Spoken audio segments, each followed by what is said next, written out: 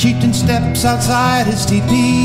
The mangy dogs run around scratching, while with empty bellies and pain in their eyes, the women and children stand watching.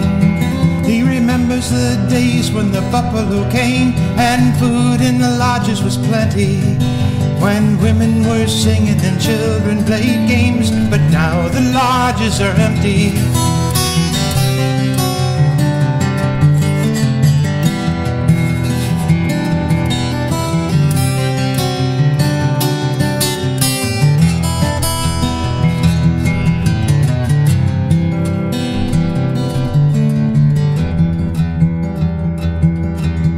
The old chieftain rides to the gates of the fort, the fort where the white fathers live.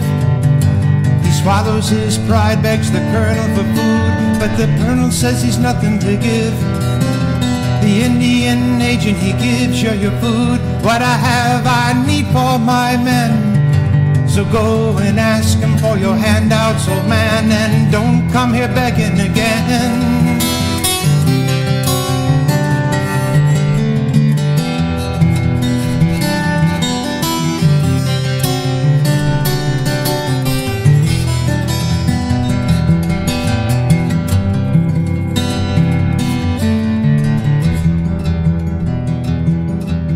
The Indian agent can give him no food for the government money he'd stole.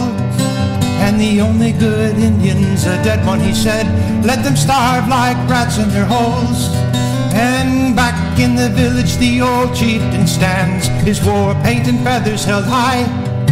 If he can teach his children to live without food, at least he can teach them to die.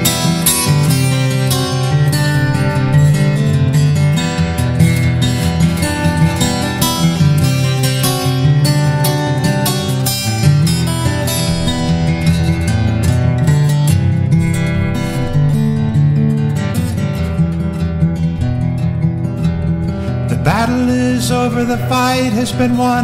Dead braves gaze up at the sky, where the buffaloes graze on deep rolling grass, and the white man hasn't passed by. Then it's on to the village to clean out the nest. Custers avenge their loss? Cause we're killing and burning and winning